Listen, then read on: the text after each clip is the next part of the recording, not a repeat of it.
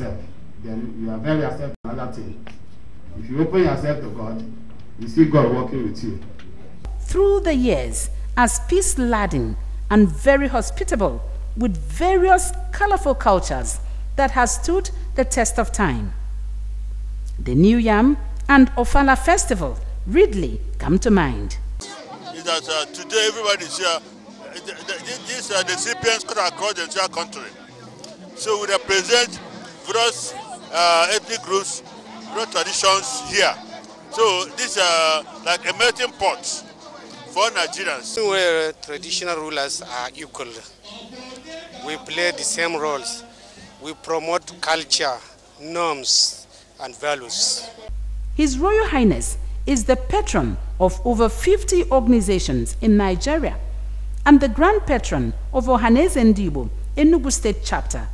More so, on the 28th of February 2018, African Traditional Royal Council, ATRC, appointed His Royal Highness Igwe Emmanuel Ugwu as the chairman of the African Traditional Royal Council, Nigerian chapter. Notable traditional royal fathers from South Africa, Ghana, Nigeria, among other worthy and distinguished people from Europe and Asia, were all at Ibagwanike on the 14th of April 2018 to install His Royal Highness into office. At the home front sector of the palace, many activities usually take place under the auspices of the wife of His Royal Highness, talking about Lolo Mary Ann Ugwu Ugeze Ocheze Wanyi, who, with her dexterity, keeps organizing the women of Ibagwanike towards achieving greater feats.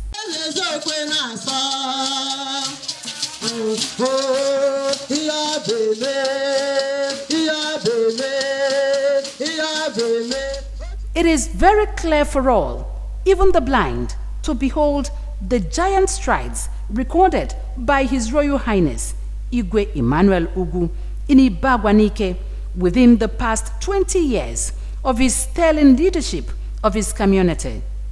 Ibagwanike is today on the global map of excellence.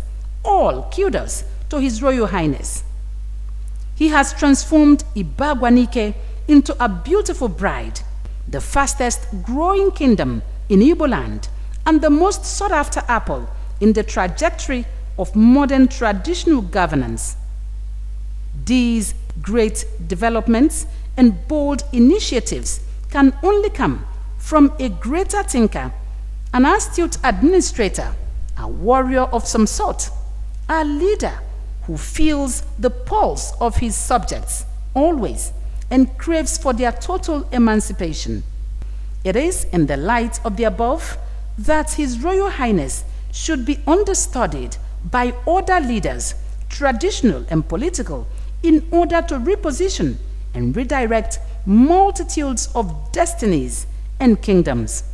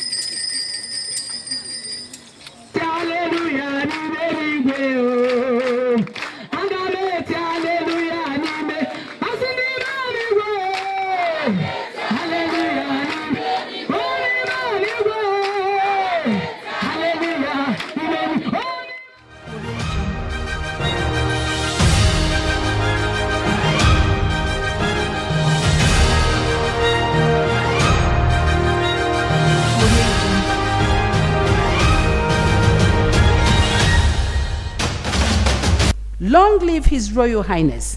Long live Ibagwanike. Long live Igwe Okwe. May your reign be long.